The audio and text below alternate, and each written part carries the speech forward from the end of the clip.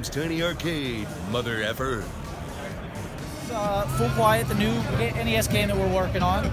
Um, some of the features that are in the game are, you know, our, our main character here, diving, uh, crouching, eight-way shooting, and uh, some weird creatures that will that will do some damage to you if you if you don't know how to fight them.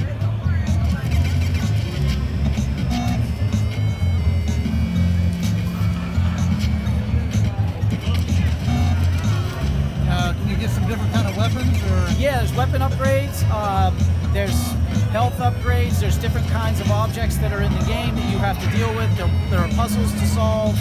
Uh, figure out what kind of enemies there are. Some new things like this guy that will heal over time if you wait two seconds and Oh, don't okay. don't shoot him.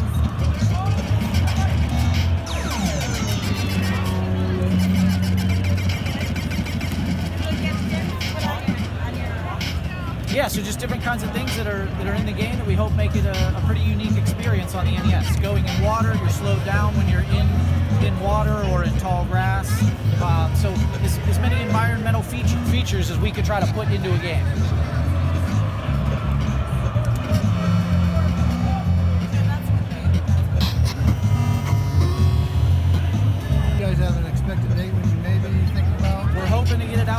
By the end of summer. By the end of summer Yeah. for NES?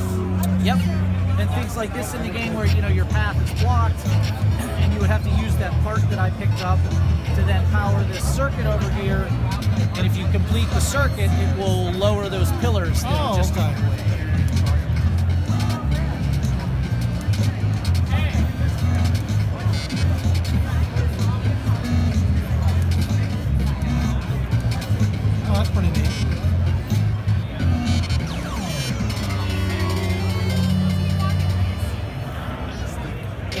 Like Oh, yeah. the world will shake, and now we can get past.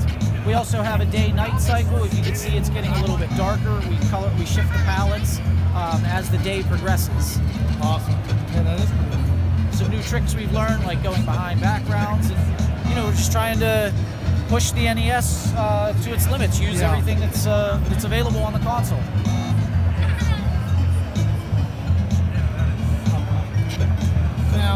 This game have like a boss at the end? Or? Var- various bosses throughout the world, but it's a, it's not a linear game. It's open world, and, Oh, okay. uh, heavy on exploration. So yeah, there will be boss fights, Awesome. some climbing, Oh, neat. dismantling.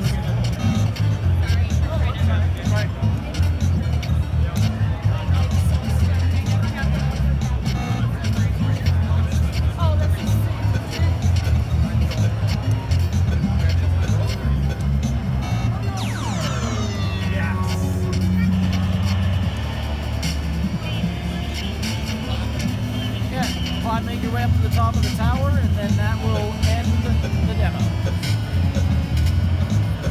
Awesome. Well, thank you very much. Yeah, thank you.